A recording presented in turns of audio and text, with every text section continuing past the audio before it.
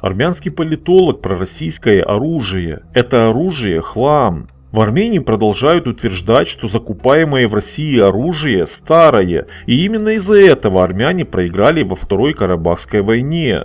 Что мешает стране купить оружие у других производителей? Вспомним историю с покупкой Азербайджаном полонеза в Беларуси. Когда Армения стала предъявлять претензии своему союзнику по УДКБ, Александр Лукашенко заявил армянам «Заплатите и купите, мы вам также продадим». Премьер-министр Армении Никол Пашинян повелся на провокацию Сержа Сарксяна и угодил в расставленную ловушку. Но давайте зададимся вопросом, в чем конкретно и по сути был неправ Никол. В том все и дело, что во всем прав, и реакция российской стороны только это подтвердила. Об этом заявил армянский политический обозреватель Граща Галустян. По мнению армянского эксперта, существуют конкретные факты, что Россия поставляла армянам в огромном количестве настоящий оружейный хлам, который оказался бессильным перед ударами Азербайджана. В период войны армянский солдат с удивлением обнаруживал, что не летает и не стреляет то, что должно было летать и стрелять по утверждениям Москвы.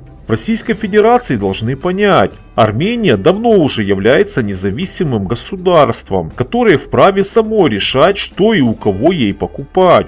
Для нас это вопрос физического выживания, а не каких-то политических интриг. Ведь Азербайджан уже анонсировал новые закупки всего самого современного, что производит турецкий и израильский военпром, заявил армянский эксперт. Придется напомнить армянам, что нет чудо-оружия за исключением ядерного. Воровать нужно меньше, а вкладывать в свою армию, как делал Азербайджан долгие годы. Сейчас у нас на вооружении и израильские, и турецкие, и производимые азербайджанским оборонпромом беспилотники.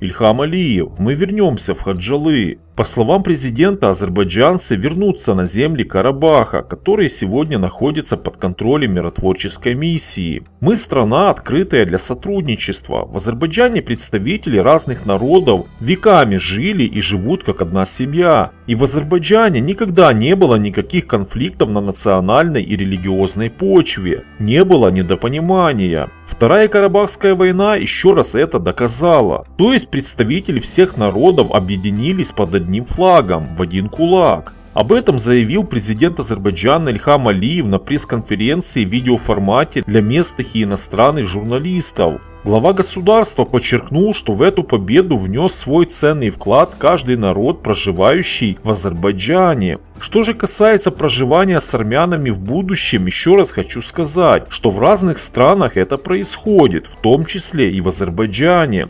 По информации, предоставленной мне недавно, даже наши журналисты нашли живущую в Азербайджане сестру бывшего министра обороны Армении. Обратите внимание, тот министр обороны Армении в 90-х годах участвовал в геноциде против азербайджанцев, а его родная сестра живет в Азербайджане. Кто-то ей что-то говорит? Нет.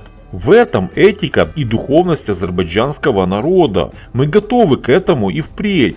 Полностью уверен, что азербайджанцы должны вернуться и вернуться на земли Карабаха, которые сегодня находятся под контролем миротворческой миссии. Об этом говорится в заявлении, подписанном 10 ноября. Да, это займет некоторое время, потребует совместных усилий, но это неизбежно. Мы также вернемся и в Хаджалы, другого пути нет.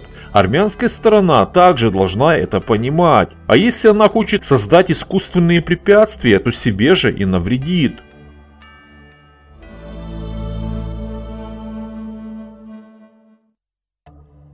Нафталиновые генералы указывают армянам, что делать дальше. В какой-то период бывшие армянские генералы поутихли. Они поняли, что их время давно ушло. Как говорится, выращивай на пенсии свои абрикосы и помалкивай. Однако активизация политических процессов возвращает из небытия персонажи, о существовании которых в Армении давно забыли. Все они как попугаи повторяют как мантру лозунг «Армения может потерять государственность». В Армении армия не занимается переворотом. Думаю, что начальник генштаба выразил свое мнение от имени всех командиров. Об этом заявил начальник генштаба Армении в 1992-1995 годах, исполняющий обязанности министра обороны Армении в 1993 году, генерал-лейтенант Нуратер Григорянц. Он прокомментировал сложившуюся в Ереване ситуацию. Говорят, послушайте, ваш премьер-министр не только опозорил все государство и армян во всем мире, не только сделал все, чтобы произошла война, но и во время войны позорно, хаотично, неорганизованно и бездарно руководил системой. А сейчас продолжает отстранять всех офицеров, которые служат верой и правдой, но имеют определенные недостатки. У каждого человека есть недостатки, сказал генерал-лейтенант. Он продолжает освобождать от должности офицеров, что является оскорблением в адрес армии, а также спустил авторитет армии до уровня плинтуса. Его дальнейшие действия могут привести даже к потере государственности. Враг, наблюдая за потерей авторитета армии и государства, сразу же зайдет на Северный проспект победным шествием, добавил он.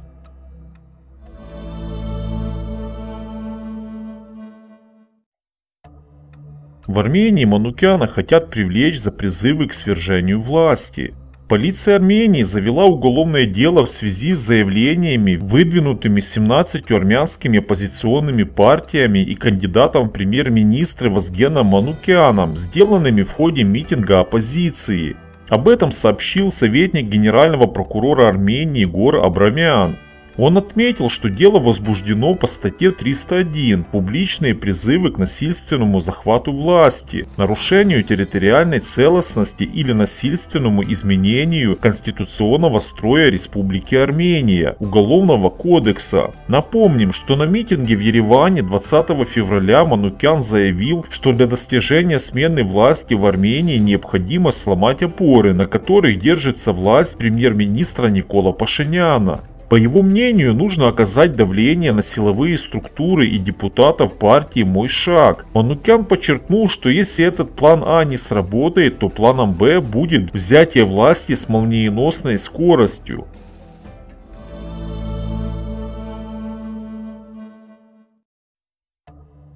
Мураховский. Пашинян переводит стрелки на якобы плохую российскую технику. По словам российского эксперта, комплексы «Искандер-Э» не использовались в Карабахском конфликте. Когда армянские военные получали комплексы «Искандер», они прошли обучение и лично испытывали на полигоне Капустин-Яр ракеты из этого комплекса. Никаких претензий тогда не было. Все было отработано на 100%. Откуда эти бешеные фантазии у Пашиняна, мне непонятно, заявил главный редактор журнала «Арсенал Отечества», эксперт Российского совета по международным делам, полковник Виктор Иванович Мураховский. По словам специалиста, высказывание Пашиняна – это глупейшая отмазка политика, который проиграл конфликт и не сделал всего возможного, что должен был сделать. Он теперь начинает переключать стрелки на якобы ненадежную российскую технику, добавил Мураховский. Что же касается допустимости применения Искандера против гражданского населения, то, как заявил российский военный эксперт, есть правила ведения войны Женевской конвенции. Там все написано.